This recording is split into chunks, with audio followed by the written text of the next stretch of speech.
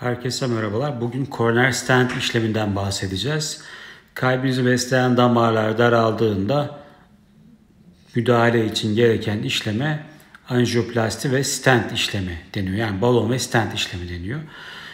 Kalbimizin içerisinde bir daralma olduğunda yani kalp damarları içerisinde plaklar biriktiğinde bir göğüs ağrısı başlar. Bu göğüs ağrısı efor esnasında ortaya çıkabildiği gibi istirahatleri olabilir.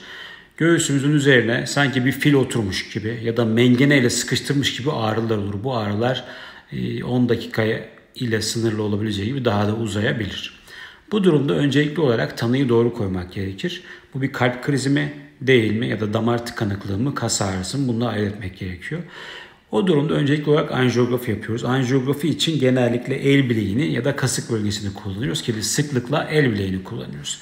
El bileğinden hidrofilik kılıflar ile yani e, yumuşak uçlu damara hasar vermeyecek kılıflar ile damar yoluna giriyoruz. Bu kılıflar kaygan uçlu olursa damara hasar vermezler ve daha az ağrı hissedersiniz. El damara girdikten sonra bir tel vasıtasıyla kolumuz, boynumuzdan sonra da kalp damarlarımıza doğru ilerliyoruz. Ve bu tel üzerinden bir kateter dediğimiz borucuk ilerletiyoruz. Bu borucuk kalbi besleyen damarların ağız kısımlarına yerleşiyor ve borucuk ucundan bir boyar madde veriyoruz.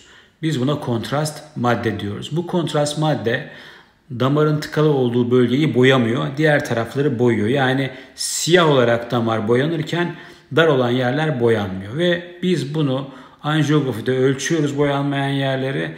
Ne kadar darlık olduğunu size söyleyebiliyoruz. %80-90'ın üzerinde bir darlık var ise buraya müdahale etmek gerekiyor.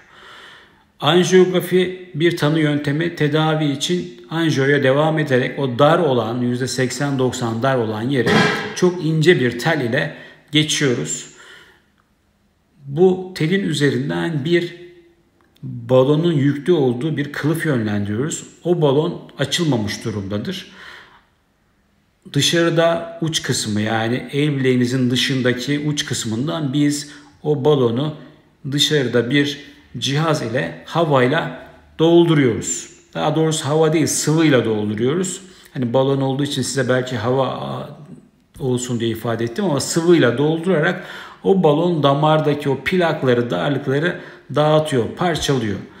Balondan sonra oraya stent koymak zorundayız. Neden? Çünkü balon recoil dediğimiz tekrardan damarda kısa bir süre sonra büzülmeye yol açıyor ve darlık tekrar geri geliyor. Onun için balon sonrası oraya bir metal, nitinol kaplı, çelik örgülü bir tel kılıf koyuyoruz. Bu aynı tükenmez kalemin içindeki yaylara benziyor şekilde gördüğünüz gibi.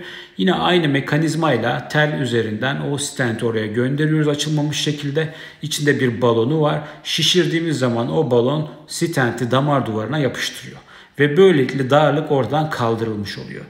E, bir damarda bir ya da iki stent kullanabiliyor. Bazen üç stent kullanabiliyor damarda ana damar, e, kalpte 3 tane ana damar, üçünde de problem varsa stent sayısı artıyor. Genelde kullandığımız stentler ilaç kaplı stentler, birçok tipi var.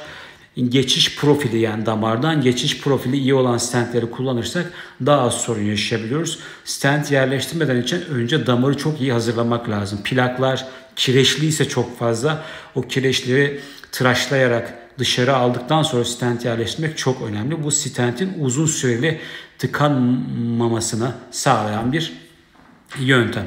Özellikle stent takmak kısa süreli bir iş olabilir. 30 dakika ile 3 saat arasında sürebilir. Ancak sadece stent takarken stent kullanmıyoruz. İşte tel, kateter, tıraşlama cihazı bazen damarın içini iyi görecek, görmek için IVUS dediğimiz cihazları kullanıyoruz. İşlemimiz 20 dakika ile 2 saat arasında sürüyor ve hastayı 6 saat sonra ya da bilemediğiniz bir gün sonra evine taburcu ediyoruz. Herhangi bir ameliyat izi vesaire vücudunuzda kalmıyor. Beni dinlediğiniz için teşekkür ederim. Bir başka bilgilendirme videosunda görüşmek dileğiyle.